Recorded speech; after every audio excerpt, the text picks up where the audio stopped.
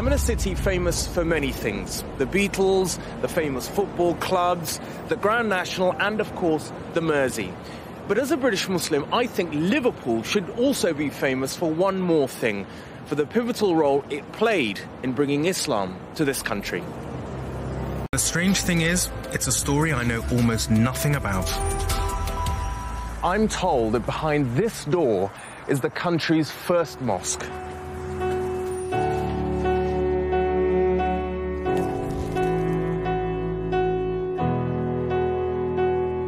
I wasn't sure what to expect, but it certainly wasn't this. I'm meeting Jahangir Khan and Ron Geaves to uncover this extraordinary mystery. So, where's the mosque?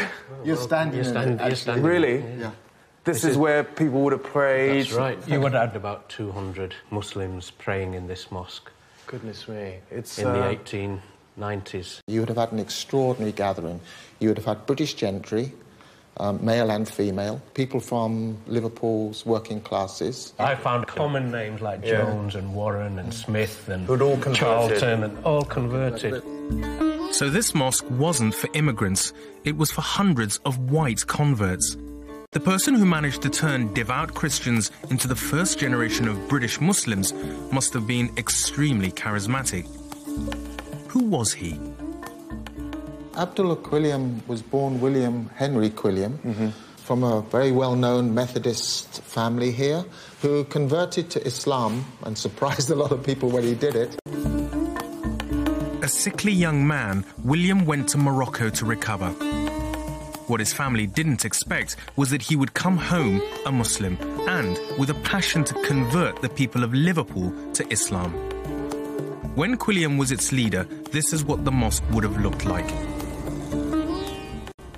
God bless the Muslim cause, bless all who keep thy laws and do the right. One idea to convert Christians was to sing traditional anthems in an Islamic style. Not everyone was happy to see a mosque on an ordinary street in Liverpool, and they made their resentment known. There was quite a lot of initial criticism, that's for mm. sure. The mosque is attacked, people throwing pigs' heads, people leaving razor wire in the courtyard there. But of course, he was a very brave man. You can imagine he claimed he was the first Muslim of Britain. That's an amazing story, isn't it?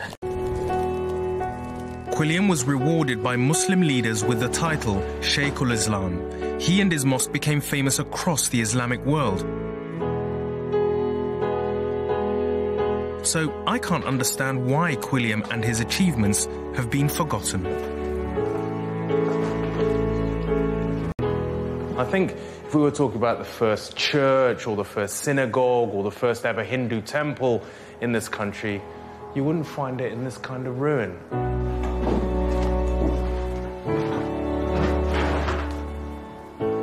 Very sad.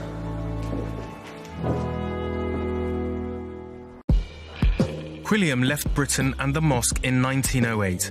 Without his charismatic leadership, his congregation dwindled and the mosque was later sold on to the council. There are now ambitious plans to restore this unique building back to Quilliam's original vision.